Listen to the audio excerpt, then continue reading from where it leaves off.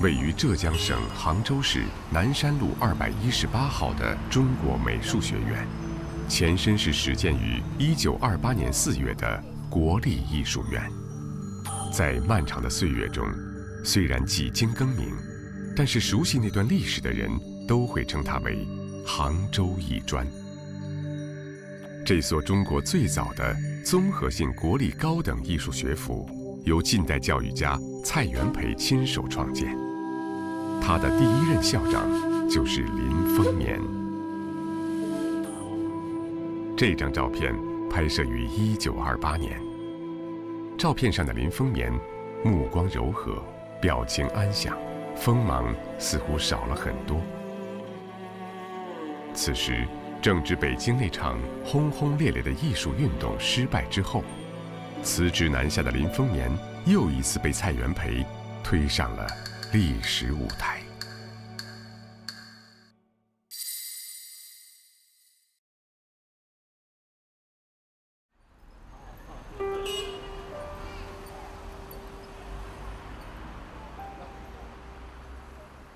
杭州西湖水光潋滟，层峦叠翠。蔡元培之所以选中此地建立国民政府的最高美术学府，不仅仅是因为绮丽的湖光山色，更是与他所倡导的以美育代宗教的艺术教育思想有关。当时呢，就是蔡元培先生跟林凤眠先生他们商量，是吧？要实现这个美育带宗教，那就要办学。那办在什么地方呢？不能办在特别大、特别杂杂乱的这个地方。你比如说，当时的他们国民政府的首都是南京，到南京这个就是个官场，对不对啊？你办在这里，可能要官场的这个乌烟瘴气啊，什么影响，这个不好。那么再大一点的地方就是上海。上海我们知道的就十里洋场嘛，是吧？也是闹哄哄的。他说这个也不妥。他说杭州呢是一个僻静的、美丽的中等城市，离上海又近，所以有些大型的展览可以在上海举行，但是在钻研学习、打基础，这个要静下来，就是要进了这个杭州西湖。所以他这个建立这个选址的时候啊，就。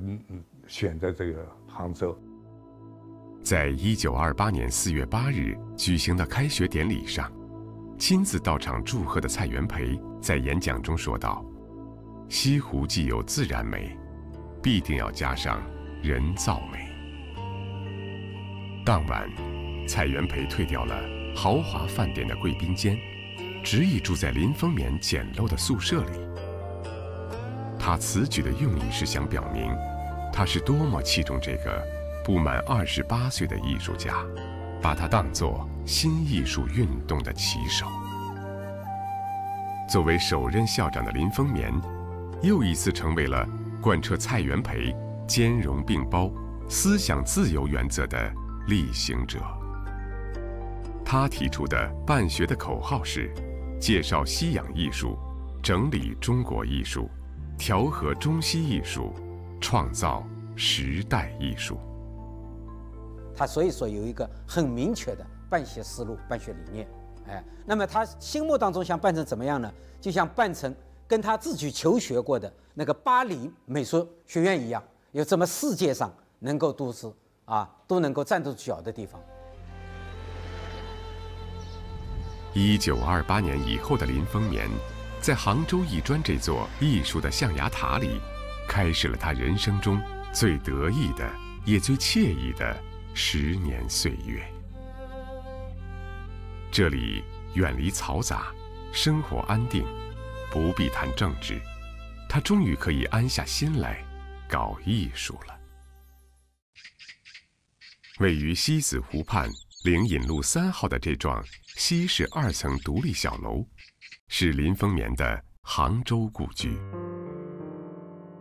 小楼面向西湖，林荫掩映，显得异常静谧。它是林风眠。于一九三四年，按照法式风格自己设计建造的。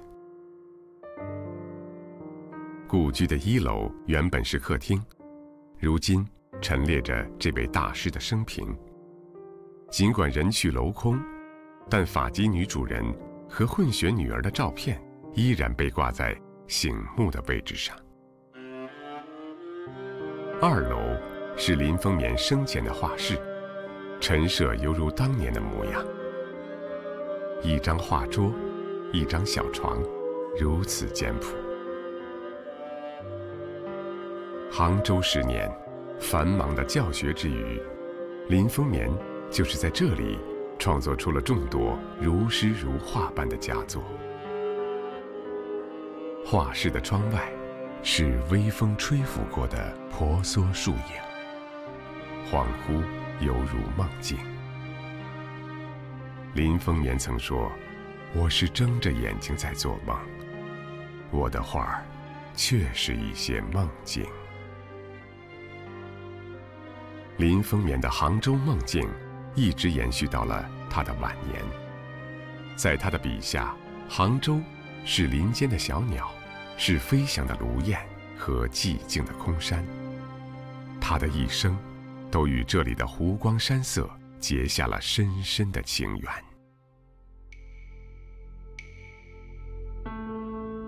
执掌杭州艺专的十年，也是林风眠实践自己调和中西艺术理想的十年。在他的引领下，林文征、李金发、吴大宇、刘开渠、潘天寿、李苦禅、克罗多等一大批中外艺术精英。追随而至。林风眠先生办我们这个学校啊，他不是单打独斗的，啊，他是有一批大家是志同道合的老师的。其中最重要的一个就是林文征先生。为什么呢？林文征先生跟这个林风眠先生是一起同一条船到法国留学的。那么回到杭州以后呢，两个人又是同事。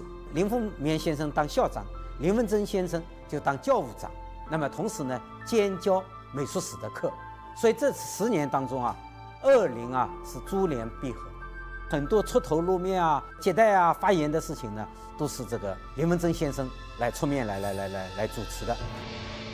林风眠认为，绘画的本质是绘画，在教学上，他反对传统绘画过分追求书法的线条韵味，认为笔墨技巧。掩盖了绘画的基本功能，强调以造型来表现艺术的情感。为了更彻底地达到中西调和的目的，他把原本分系教学的国画、西画两系合并为绘画系，就是提出一个写生，不是临摹，就是中西绘画不分系。西洋画的人要画中国画，中国画的人学中国画的人。要学素描，但是呢，林风眠的高明是他没有忘记中国本土的文化，所以他认为国画也需要有有一些质地的。他就是中西两个绘画是不分中西的。在林风眠的直接授业下，赵无极、吴冠中、朱德群、李可染、习德进、王昭文、艾青等一批学子在这里起步，走上了艺术的成才之路。除了美术教育，林风眠投入精力最大的就是艺术运动。一九二八年八月，他发起成立了艺术运动社，力主促成新时代艺术之实现。这张照片记录的是艺术运动社的一次聚会，前排的第三个人就是林风眠。他认为，北京的艺术大会之所以失败，是由于欠缺艺术的宣传，因此，他创立了校刊。亚波罗杂志，并撰写了相当数量的论文，意在发表艺术言论，广播艺术宣传。这一期间，林风眠用象征手法创作了大型油画《人道》《悲哀》《死》《人类的痛苦》等作品，风格一如他中西调和的探索，造型简约，大笔触粗线条。色调强烈而凝重。那么他当时呢，就主要就是画那个油画，而且呢是大幅的油画。这个油画呢，它主要就是一种关注社会、关注民生，主要这个方面有悲天悯人的这么一种这个气氛跟味道在里面的。一九三一年，蒋介石携夫人回奉化路经杭州时。前往艺专参观，当他见到“人类的痛苦”一画时，就问是什么意思。林风眠回答说：“我这是表现人类的痛苦。”蒋介石却说：“青天白日之下，哪有那么多痛苦？”有学者指出，从这件事情以后，林风眠就渐渐开始远离了政治。一九三六年，代表着林风眠艺术运动精神的《亚波罗校刊》，在出到第十七期时，终于不再出版了。对他来说，这是一个时期的结束。在我看来，林风眠在二十世纪的中国美术史上，他呢是一个孤独而寂寞的艺术行者。他的孤独寂寞在于，他的艺术理想应该说没有实现。无论是当时的北平国立艺专，还是后来的西湖美术院，他都没有实现他的艺术理想，其实都很短暂。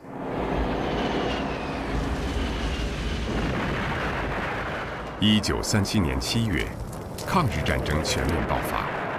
十一月十二日，上海沦陷，日军登陆金山卫，杭州危急。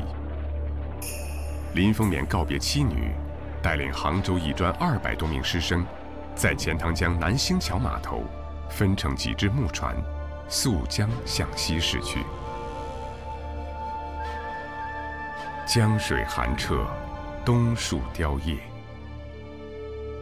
日军侵华，不仅改写了中国的现代史，也改变了中国现代艺术的发展进程。林风眠与师生员工，带着大量的图书教具，汇入难民的大潮，向西南方转移，期间颠沛流离，经历艰险困苦。就在流亡之路上，杭州艺专与北平艺专奉命合校，改称国立艺专，废校长制，改校务委员制，林风眠任主任委员。因与教育部及校内某些负责人意见不一致，林风眠痛而辞职。不大校长啊，和当时的教育部很有关系，经费不能到位，学生在闹风潮，收收没有收收，特别是北平一专和这个艺专的两方面呢，他说他偏心这里，他偏偏心的，所以说呢。啊，再加上上面不支持他，物质上的支持、精神上的支持都没有，所以在这个地方啊，他就说我还不如不干呢。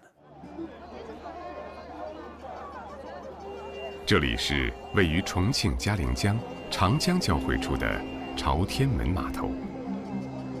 如今，面对繁华热闹的景象，人们无法想象，八十多年前抗战期间，在对岸码头附近的一个被废弃的仓库里，林风眠孤身一人隐居在此长达七年。此时，用艺术运动改造社会的理想，早已经化成了泡影。他一个人自己独立生活，自己画画。曾经在重庆的对岸一个兵工厂里边，给他大概有这么大的一间屋，嗯，他就是在那里，他可以一天画的最多的画八九十张。所以人家都说他那个时候是隐居了嘛，隐退了嘛。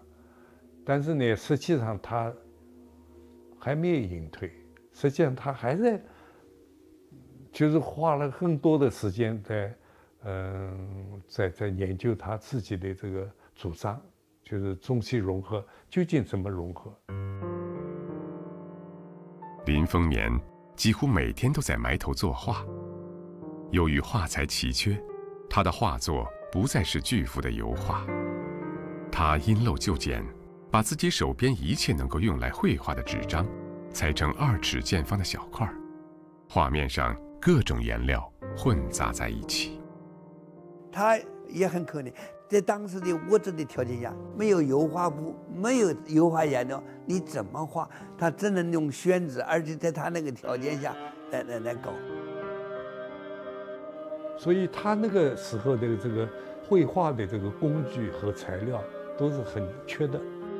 我感觉到他那个时候拿什么纸画都无所谓，只要是画。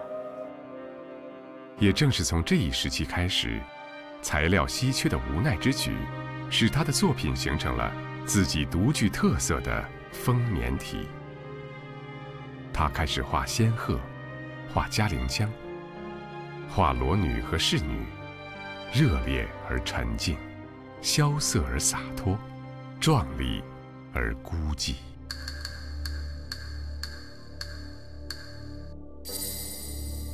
一九四零年三月五日，一代教育泰斗蔡元培病逝于香港。当时，在重庆的各界人士都举行了悼念活动。但是，竟无人将这一噩耗告诉独居长江南岸的林风眠。四十年后，他才来到蔡元培的墓前，含泪献上了一束迟到的鲜花。一九四六年，抗战胜利后，林风眠抛弃了所有行李，只带了几十公斤未脱表的画回到了杭州。然而，抗战期间，他的别墅成了日军的兵营，自己的几幅巨幅油画只剩下一些支离破碎的布条。林风眠与他的过去惨烈挥别，他无法预料到，自己半生的心血被毁于一旦。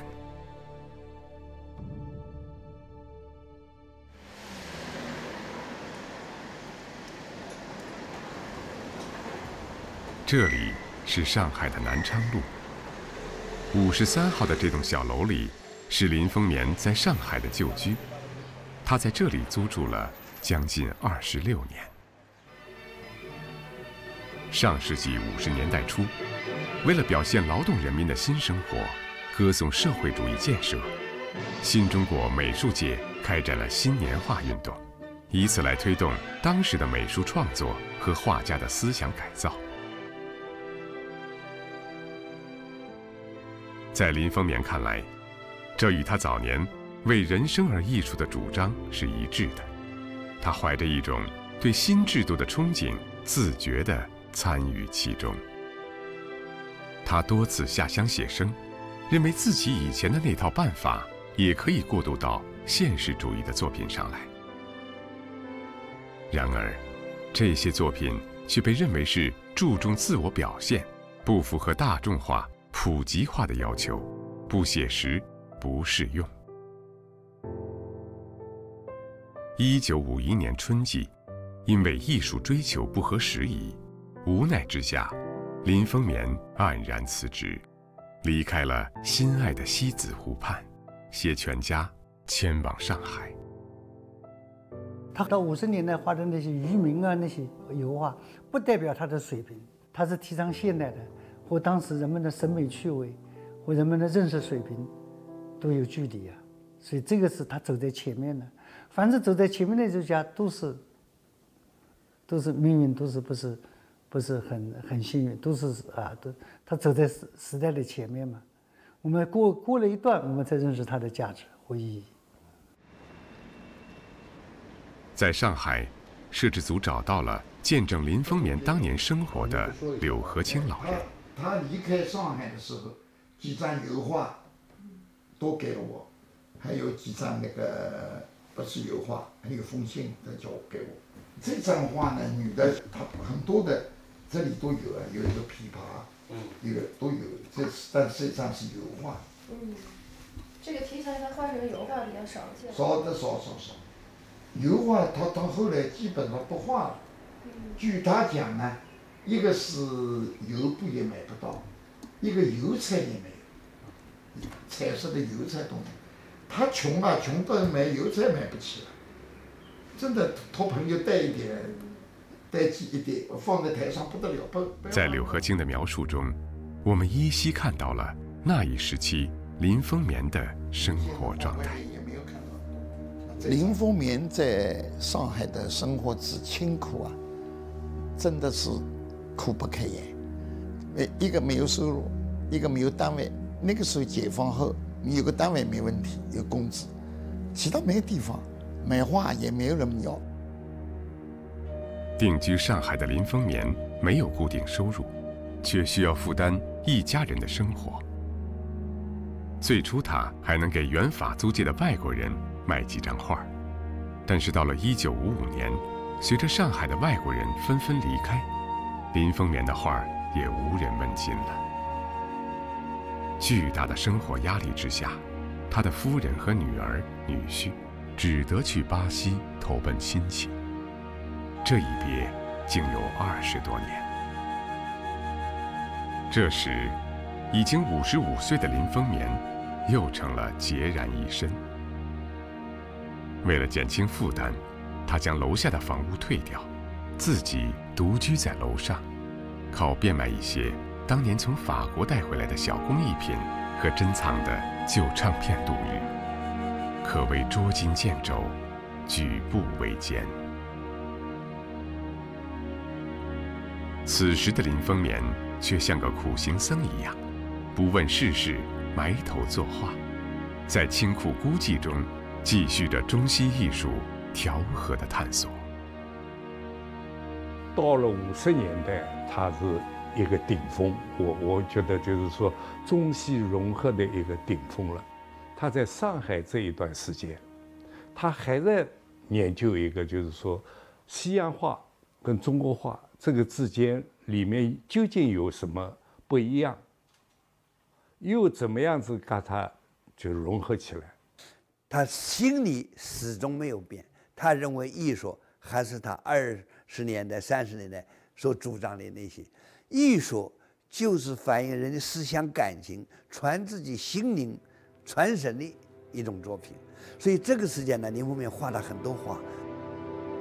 很多学者认为，这一时期，林风眠终于在中西融合的道路上，创造出了自己独特的面貌。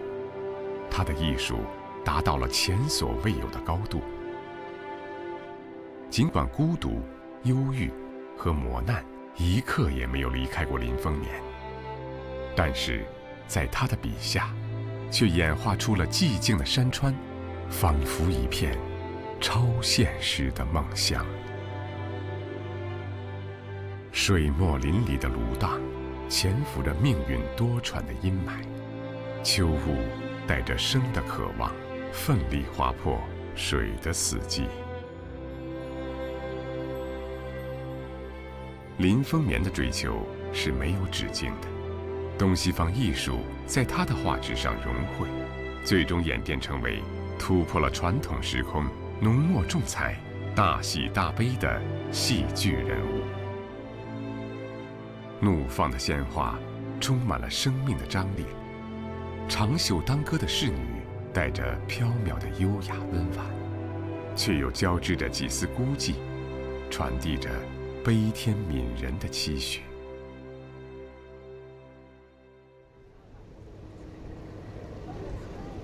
二零一四年八月，我们百年巨匠摄制组来到了艺术大师林风眠人生的最后一站。位居世界第三大金融中心的国际化都市——香港，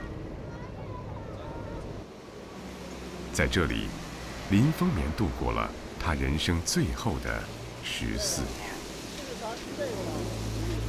对林风眠而言，香港是他跌宕起伏的命运遭际中最后的一丝温暖。或许是冥冥之中的天意。漂泊一生的林风眠，就是在这十四年间，在这座散发着欧洲之风的中国城市里，最后完成了自己调和中西艺术的绝唱。此前，文革结束后已经七十八岁的林风眠，在中学校友叶剑英的帮助下，经香港去巴西与亲人团圆。但是仅仅两个月后，他就独自一人返回了香港。巴西呢，说老实话，他那个地方生活也不是很习惯。另外一个，他的对自己的家庭也是很不满意的。他说：“和夫人和孩子虽然血缘关系，但是到底是分手这么多年了，总是呢不是那么很熟悉。”他说：“我到那里呢。”啊，语言呢，在巴西也不通，大概最主要的一个原因呢，没有办法谋生计。那个地方买华侨虽有，但是想能够卖出很多画的也很困难。这里是位于九龙的弥敦道。一九七七年来到香港时，林风眠就是居住在这条街道上。一家国货公司顶楼的仓库里，